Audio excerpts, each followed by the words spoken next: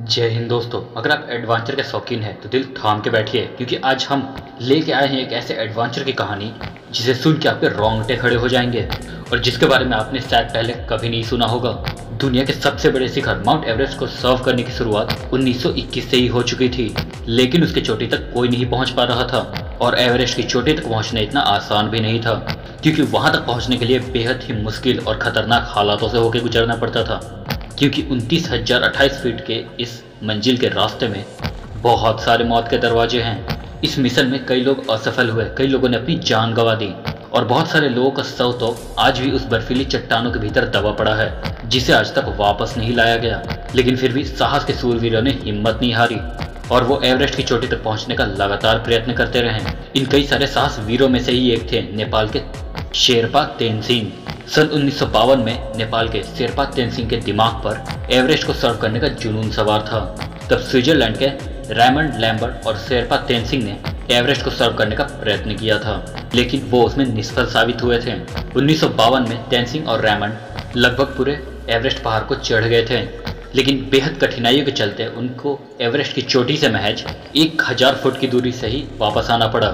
मंजिल के इतने करीब होके भी वापस आ जाने का दुख उन दोनों को था, लेकिन तैन सिंह ने हार नहीं मानी। फिर से एक साल बाद सन उन्नीस सौ तिरपन में तैन सिंह सात अंग्रेज़ और दो न्यूजीलैंड के पर्वतारोही के साथ एवरेस्ट के अभियान के लिए निकल पड़े। तैन सिंह और एडमन हेनरी की टीम ने पहाड़ चढ़ने की शुरुआत 9 अप्रैल उन्नीस सौ तिरपन को की।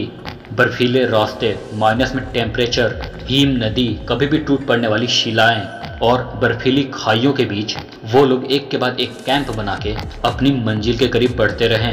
लगभग बीस हज़ार फुट की ऊंचाई तक पहुँचने के बाद एक छोटी सी दरार को पार करने के लिए हेनरी ने डाइव लगाई, लेकिन उनके भार के कारण बर्फ़ की चट्टान वहाँ से खिसक गई और वो हमेशा के लिए उसमें दबने ही वाले थे कि पीछे से समय रहते तैन सिंह ने रस्सी फेंकी और हेनरी ने उसे पकड़ के अपने प्राण बचा लिए। अगर तैन सिंह ने वो रस्सी ना फेंकी होती तो हेनरी उस वक्त अपने जीवन से हाथ धो बैठते हैं। खैर, एडवन हेनरी और तेनसिंह की टीम धीरे धीरे एवरेस्ट की चोटी से नज़दीक आते रहे उनसे पहले चढ़ाई को पूरी करने वाली चार्ल्स इवान की नौ सभ्य की एक टीम थी, जो तेनसिंह की टीम से पहले एवरेस्ट को चढ़ने वाली थी।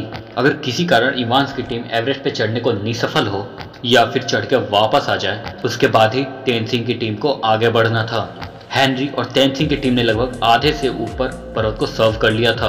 एवरेस्ट की चोटी से पहले आने वाली ये आखिरी छोर सबसे खतरनाक माना जाता है। जहाँ तक पहुँचते पहुँचते कई लोगों ने आखिरी में अपनी जान गंवाई है। एक तरफ़ इवान्स की टीम इनसे पहले आगे बढ़ रही थी और 26 मई के दिन माउंट एवरेस्ट के शिखर से वो लोग सिर्फ़ 300 फुट की दूरी पे थे, लेकिन इवान्स और उनके साथी बहुत थक चुके थे। उनके शरीर ने जवाब दे दिया था।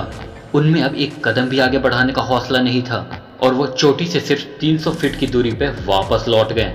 यहाँ पे इतिहास किसी और के नाम पे ही लिखा जाने वाला था। इवान्स की टीम के पीछे लौटते ही अब टेंसिंग और हेनरी की टीम को आगे बढ़ना था। रात में सोने के बाद सुबह तेनसिंह और उनकी टीम ने अपने मंजिल की तरफ़ कदम बढ़ाए। तापमान minus twenty seven degree Celsius था। परिस्थिति बहुत कठिन थी, फिर भी इन साहसियों ने हिम्मत नहीं हारी।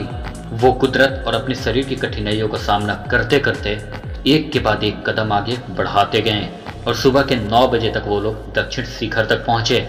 धीरे धीरे ऑक्सीजन खत्म हो रहा था और उनके पास अब उतना ऑक्सीजन भी नहीं था कि वो इस पूरे अभियान को ठीक से खत्म कर सकें।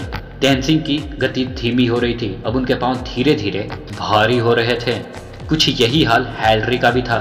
हैलरी ने तैनसिंह की तरफ़ देखा। उनको कुछ समय के लिए रोका और उनके ऑक्सीजन की नली को साफ़ किया, क्योंकि उनको सांस लेने में भी तकलीफ़ हो रही थी।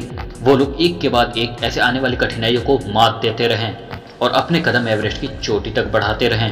और आखिर में 29 मई उन्नीस सौ तिरपन के दिन शेरपा, तेनसिंह और हेनरी का नाम इतिहास में दर्ज हो गया, जब सुबह ग्यारह बज के तीस मिनट पर दुनिया की सबसे ऊँची चोटी उनतीस हज़ार अट्ठाईस फीट, यानी आठ हज़ार आठ सौ अड़तालीस मीटर की ऊंचाई पे पहुँचे, तब उनकी खुशियों का कोई ठिकाना नहीं था। ये एवरेस्ट की चोटी के कुछ रियल वीडियोस है, जो इंसान को मग्न मुग्ध करते हैं। इस तरह विश्व के लिए दुर्गम एवरेस्ट का शिखर, नेपाल के शेरपा टेन सिंह और न्यूजीलैंड के एडमन हेनरी ने शर कर लिया और इस तरह इंसानियत ने और एक कुदरती विषमता को परास्त कर दिया।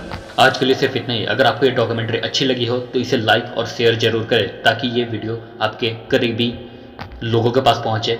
साथ ही साथ इस चैनल को भी सब्सक्राइब करें और उसके साथ बेल आइकन दबा दें ताकि आपको नॉलेजेबल वीडियो हमेशा मिलती रहे। तो मिलेंगे आपसे फिर अगले इंटरेस्टिंग और नॉलेजेबल वीडियो के साथ। तब तक के लिए जय हिंद।